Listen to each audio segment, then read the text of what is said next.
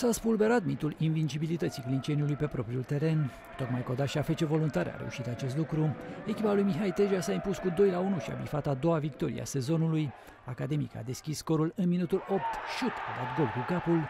Egalarea a venit după doar 5 minute prin Simonovski.